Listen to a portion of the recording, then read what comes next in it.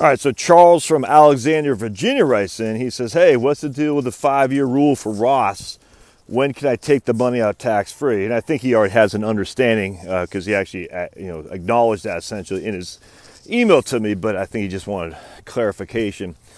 All right, so remember Roth, whenever, always remember, your contributions to a Roth you can have without any taxes or penalties whatsoever. Doesn't matter if you're freaking 10 years old or 100 years old, do you always have access to your contributions. That was, I remember when the Roth first came out in 1997.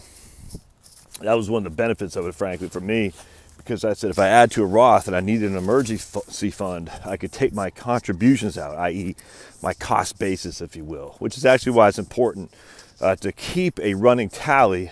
It's 8606, I think, is what that paperwork was the IRS form, which uh, which said how much you actually put into your Roth, because that way you'll know.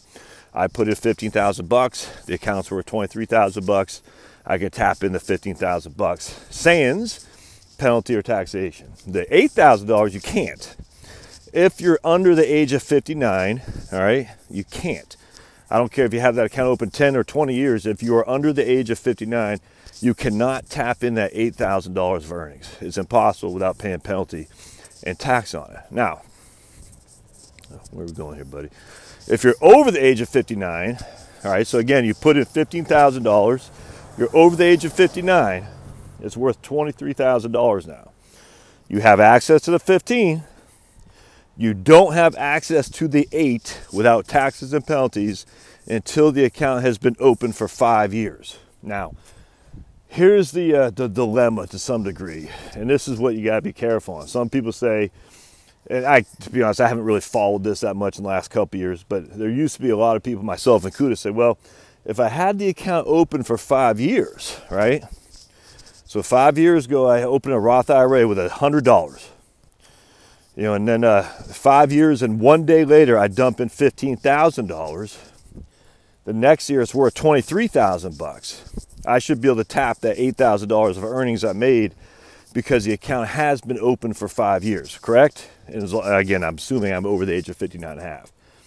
Um, I think that's true. I, I, just, I don't know if I'd play that though, because when you look at doing um, uh, conversions to Roth as opposed to contributions to Roth, conversions, that's not really true. Um, and what I mean by that is, here's what I thought I would do. I said, okay, when I left USAA, I have a Roth IRA open. I'm going to do conversions to my Roth from my 401k, which I rolled to an IRA. So, for simplicity, I got $100,000 401k.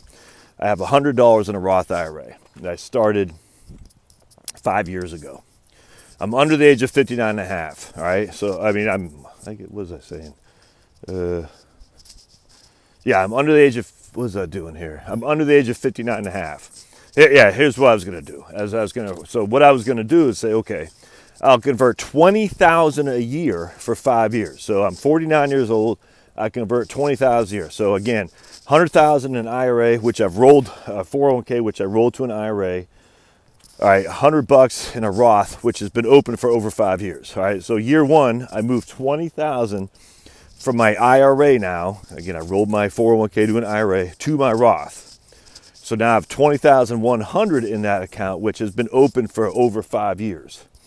Year two, I do the same.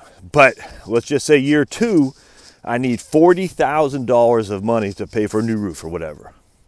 So my premise, my thought premise was, well, those are considered contributions or basis, if you will, to my Roth, and thus, because it's basis, I can have access to it without penalty. Now, I would have to pay tax on the gain because I'm under the age of 59 and a half, but I would not have a penalty. That was my whole premise. So that, and I've been thinking like this since 1997 when Roth IRAs were first introduced or first passed into law by Clinton, of all people. And the answer is as long as you're not audited, that's true. I mean, everything is true from a tax perspective until you're audited. That's what I always tell people. Like, look, if you're never audited, you can do whatever the hell you want. I mean, don't. Because if they audit you and you find out you've been uh, manipulating the system, you know, that's not a good place to be. But, I mean, as long as you're never audited, that is true what I did. However, further research says no. Your conversions, the amount of money you convert, is its own unique five year rule. So if I convert 20,000 in the year 2018, that basis, that 20,000 I converted is not free and clear to me until 2023. All right, does that make sense? So now I, I cannot take that $40,000 out for my new roof without paying a penalty. Now I've already paid tax on that because I did the conversion.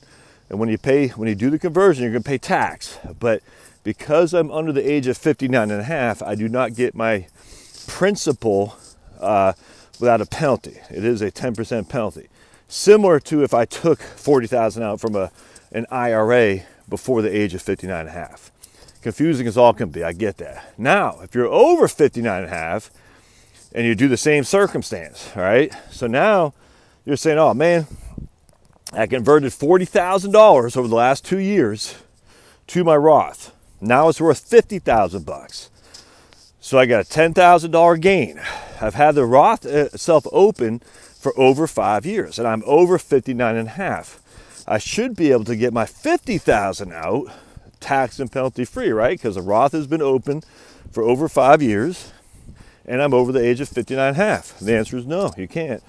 You can get your uh, you can get your principal out tax and penalty free because you're over 59 and a half, but you can't get your gains out because it hasn't been five years of each of those individually unique conversions. I hope that makes sense. So those unique conversions, 20,000 in the year 2018, 20,000 in the year 2019, the one for 20,000 in the year 2018, because you're over 59 and a half, you can get your 20,000 out tax and penalty free, but you cannot get your gains out uh, uh, penalty uh, tax free. Excuse me.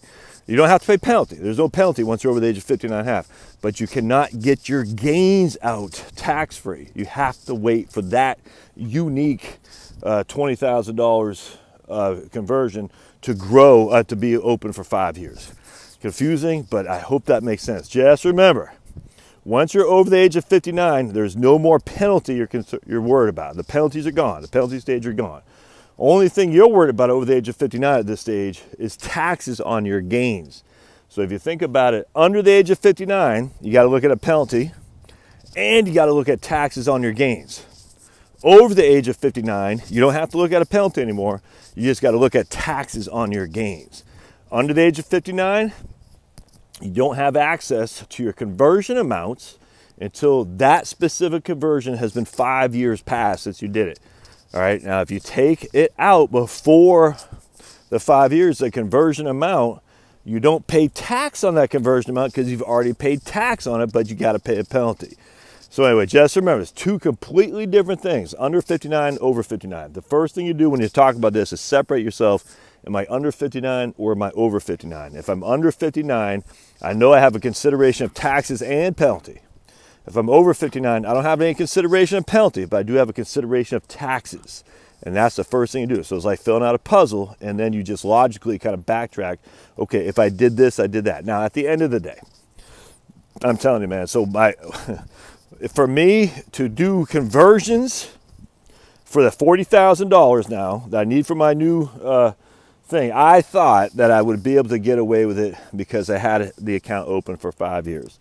And the answer is absolutely explicitly that's simply not true. The, the, the, IRS will say you need to wait five years for each of those conversions before you have access to the principal uh, penalty free. And then, of course, I got to be 59 and a half before I have access to the gains tax free. Hope this helps. Thanks, Charles.